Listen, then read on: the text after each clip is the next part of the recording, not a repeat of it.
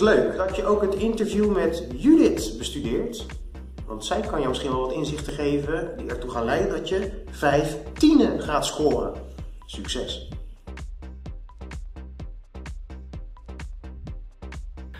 we zijn natuurlijk als assessor uh, aangewezen om studenten te beoordelen op vijf competenties. En uh, dat is omdat we willen dat studenten kunnen aantonen dat ze klaar zijn voor het uh, beroepsveld. En um, nou, vijf competenties waar we dan op toetsen. En dat is onderzoek en analyse. Het is uh, ontwikkelen van en adviseren over communicatiebeleid. Plannen en organiseren. Creëren, realiseren. En tot slot de laatste is representeren. Ja, dat even een notendopje. En dat is eigenlijk zeg maar de formele kant van het beoordelen. Hè. Dat zijn de toetscriteria. Zelf probeer ik dat ook vooral uh, op een. Uh, ja, ik kijk vooral naar het totaalplaatje. Hè, uh, je ziet altijd wel dat studenten sterk zijn in bijvoorbeeld één of twee competenties. Maar het mooiste is als iedereen, of als je eigenlijk op alle competenties goed kan scoren. En dat ook nog eens goed voor het voetlicht kan brengen. Ja, ja het was in augustus 2016. Eigenlijk was het eerste wat me opviel van, uh, weet je, wat een, uh, wat een tengere en jonge jongen. dat was de eerste verschijning, eerste indruk. En gaandeweg zijn verhaal wist hij ons eigenlijk met stijgende verwondering mee te nemen. En waar we op het eind van zijn presentatie, waar we ja, we zijn het zelf tegen elkaar wel. We, we zijn eigenlijk weggeblazen door jou. Music is always being exposed to us, no matter where we are. Whether we're at work, on the road, or even at home. Music is always with us. But what music means to us varies from person to person. It can be our escape from the stress we have to deal with on the daily basis. It can be our moment of relaxation before we start our day at work. Music means everything. But without the right marketing, music would be nowhere.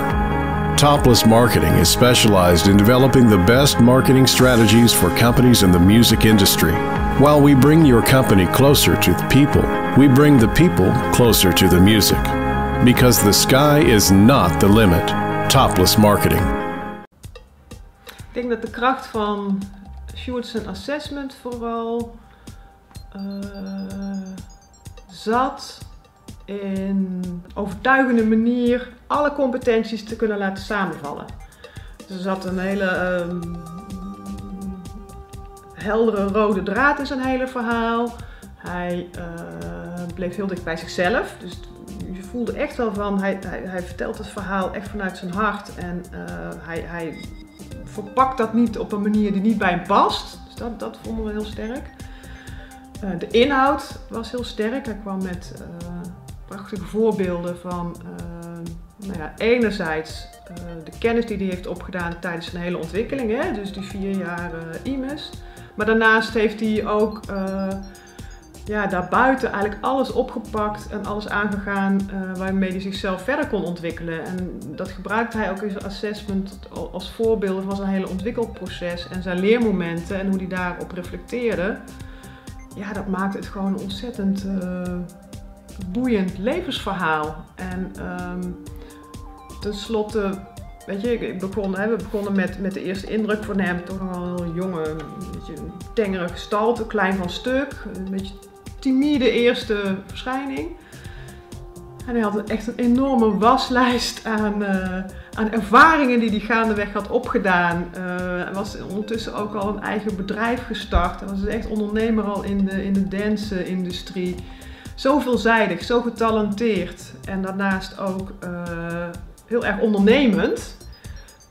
En dan tot slot ook nog eens daarin heel erg zichzelf en bescheiden gebleven. En eigenlijk die combinatie van, van, van die uh, eigenschappen maakte dat wij daar gewoon met open mond uh, achter bleven. Zo van, jeetje, dit, dit is echt uh, heel indrukwekkend wat deze jongen hier laat zien.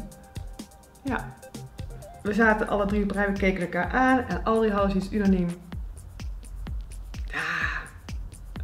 Niet te overtreffen. Ja, het kan natuurlijk altijd overtroffen worden, maar dit, dit, dit is gewoon goed. Weet je.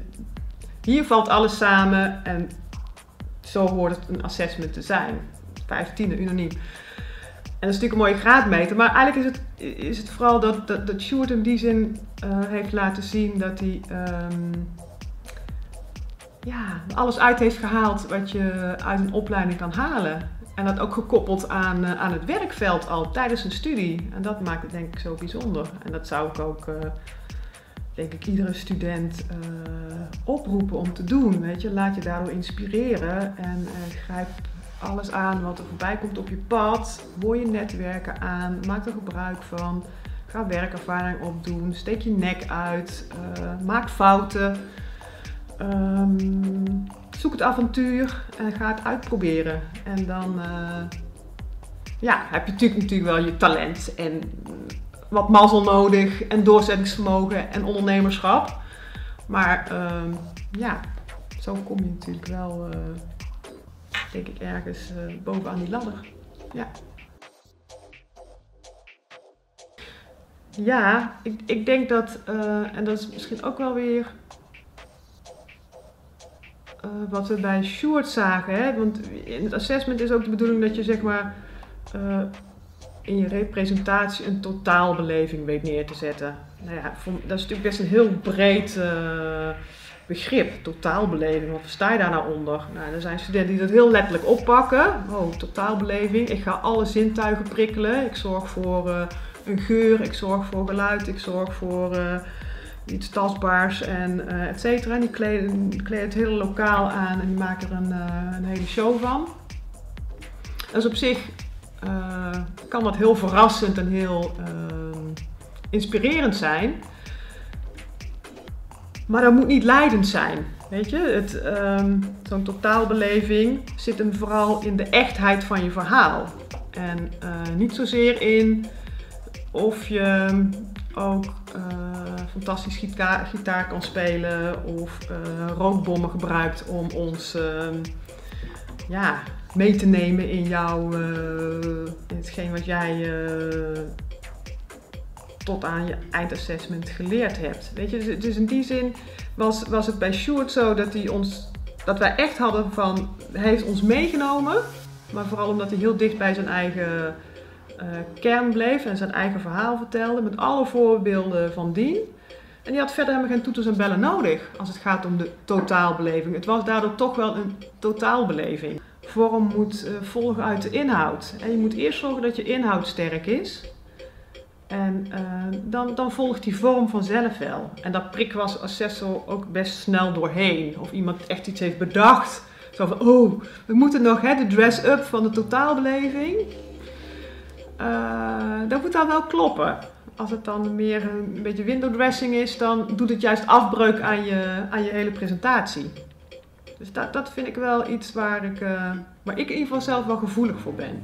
Ja.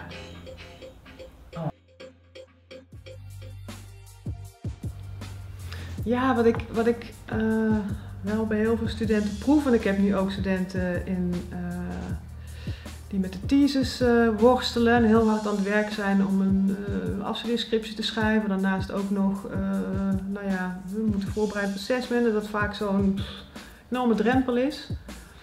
Misschien is dan de meest praktische tip, ruim, ruim genoeg tijd in voor de voorbereiding van je assessment.